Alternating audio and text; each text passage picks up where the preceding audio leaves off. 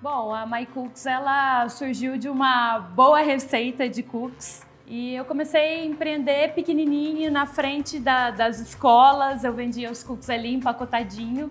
E aí a gente reparou que se a gente vendesse o cookie quentinho, assado na hora, a gente venderia muito mais. A gente começou a negociar, fomos num supermercado famoso aqui na minha cidade e eu falei, puxa, aqui tem um fluxo legal de pessoas, e se eu colocar um balcãozinho aqui e a gente começar a vender dessa forma, né? E caiu no gosto da galera. E aí a gente falou, poxa, vamos abrir uma segunda unidade.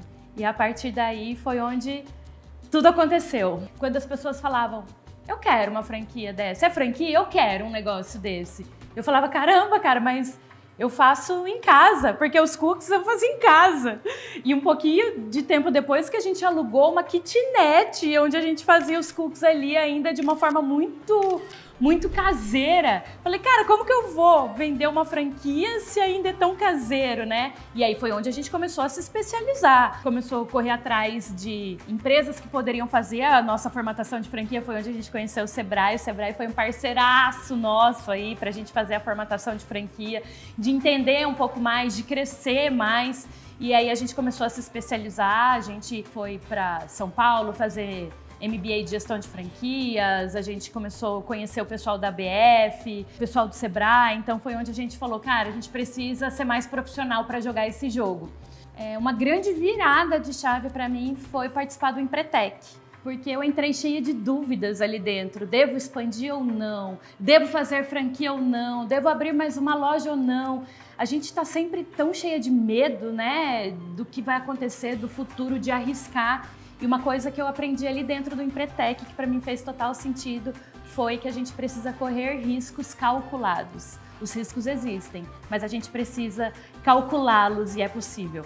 Mas já estava acontecendo. Foi onde a gente abriu uma cozinha mais profissional, a gente fez a formatação de franquia e começamos a vender as primeiras franquias ali. Comece com o que você tem. Às vezes as pessoas elas esperam o melhor momento, mas o melhor momento é hoje é o agora. Tudo que nasce pronto já tem alguém fazendo, é cópia. Quando você começa e vai ajustando no meio do caminho, você coloca a sua essência, você coloca o seu jeitinho, é, você coloca a sua originalidade. Então comece com o que você tem e vá ajustando no meio do caminho, porque o melhor momento é hoje. A My Cooks hoje, ela, além de ser a maior rede de franquias de cookies artesanais do Centro-Oeste, que eu encho a boca para falar em breve do Brasil, É, a MyCooks ela nasceu para mudar vidas. Mudou a nossa vida, mudou o jogo, mudou a nossa realidade. Então a gente queria que a MyCooks fizesse isso por mais pessoas e a gente viu a MyCooks fazendo isso por muitas pessoas.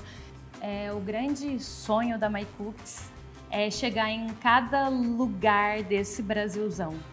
É você chegar numa cidade e olhar, olha, aqui tem MyCooks, onde essa pessoa tiver, ela vai provar o mesmo cookies, o mesmo sabor, o mesmo carinho e aquela memória afetiva de vai ficar tudo bem, né? Aqui tem uma My Cookies.